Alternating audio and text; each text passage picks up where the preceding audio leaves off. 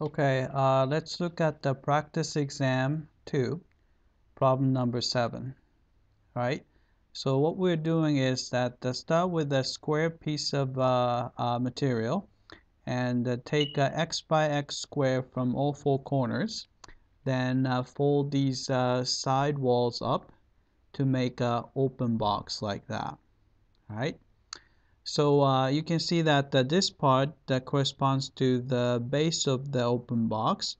And since you start with a 12 inches by 12 inches piece and uh, you're taking away x from both sides. So you can see that the length here uh, one side of the um, base is uh, 12 minus 2x right? Because you're taking away 2 x's so it's a 12 minus 2x by 12 by 2x. And the x corresponds to the height of the open box. Right? So 12x minus 2x uh, both have uh, 2 in it. So we, I'm going to just uh, factor out 2. So it's a 2 times quantity 6 minus x. All right? Then to express the box, so v of x is going to be simply uh, you have x times, right? So you have a 2 time, times quantity 6 minus x by the same thing. So there are 2 times 2 is going to be 4, right? Then quantity 6 minus x times itself, so it's going to be 6 minus x quantity squared, all right? So this is the uh, volume function v of x. All right, so that's part A. And part B, we need to find the derivative and all critical numbers. All right, so let's take the derivative. v prime of x is going to be equal to, all right, so 4 is just a constant, so we put it out here. Then we're going to use the product rule. So x is the first guy, and the quantity 6 minus x squared is the second guy. So derivative of the first guy is 1 times the second guy is quantity 6 minus x squared and plus first guy is x times put 2 in front quantity 6 minus x, right? Then subtract 1 from the power and multiply by derivative inside. So derivative inside is actually negative 1. All right. Then uh, we're going to factor out uh, common factor. So uh, 4 is already out, so put 4. Right. Then you have a quantity 6 minus x is in both terms. I, I circle 2 so that I know that is another 6 minus x. So uh, quantity 6 minus x is factored out, right? And I think that's about it. So we're going to collect the leftover terms. So first you have a 6 minus x here. 6 minus x from the first term right, 1 really doesn't do anything, so I ignore that, right? Then you would have a negative 2x. So negative 2x, right?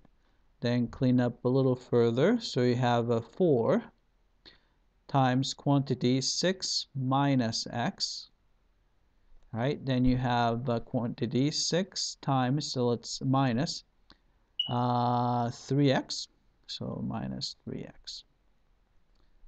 Right? Uh, since both of these guys have 3 in it, so factor out 3. So 4 times 3 is 12. And the quantity 6 minus x. Right? 3 is out, so it's going to be 6 becomes 2. Right? 3 is out, negative 3x becomes negative x. Right? Set that equal to 0. Right, we will get uh, critical numbers. So x equals, right, from here, 2. and also uh, x equals 6 so 2 and 6 right so those are the critical numbers right find the dimension of the largest box right so let's do that. Oh actually so uh, so this is the derivative. So v prime of x is right here. Right then this is the critical numbers critical numbers. Right. Part C.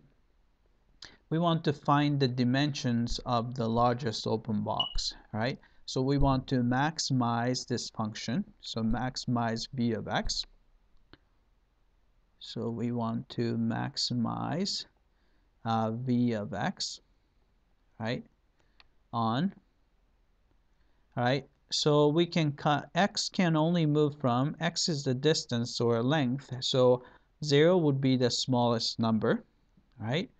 Then since you have to cut off x from both sides uh, and uh, you have only 12 inches so uh, x can uh, be uh, 6 at the most. So so x only goes from 0 to 6 right then we want to maximize that right so since uh, we are maximizing a continuous function on a closed interval, all you have to do is check endpoints and the critical numbers, right? So first uh, left endpoint is 0, right? Critical number is 2 and 6, and 6 is actually the right endpoint too. So uh, v of 2 and uh, v of 6, right? But when x equals 0, volume is obviously 0 because uh, 0 times anything is 0. And also, when x is 6, uh, 6 minus 6, volume is actually 0, right? So x equals 2 is very promising, so let's plug in 2. So it's a 4 times, right? x is 2, so 2 times, right? You have 6 minus 2, so it's a 4 squared, right? So that's uh, what, uh, let's see, you have uh, 4 times 2 is 8. And 4 square is 16. All right, 8 times 6 is 24. Oh, so no, 48, sorry. And 1 times 8 is uh, 8, so 8 plus 4, 4 would be 12 right? So you can see that this is going to be the maximum volume, right, when x equals 2, right? So since they are looking for the dimensions, so we have to find the dimension. But the x is the height, so x is equal to 2, right? Then if you plug in 2, so 2 times 6 minus 2, so that's going to be 8.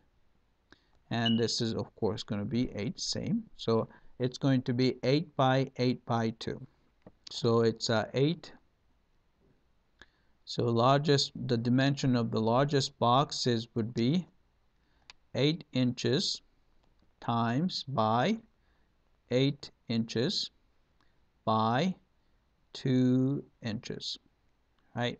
So that's the dimensions of the largest box we can create. All right that's it. I hope that uh, this was clear.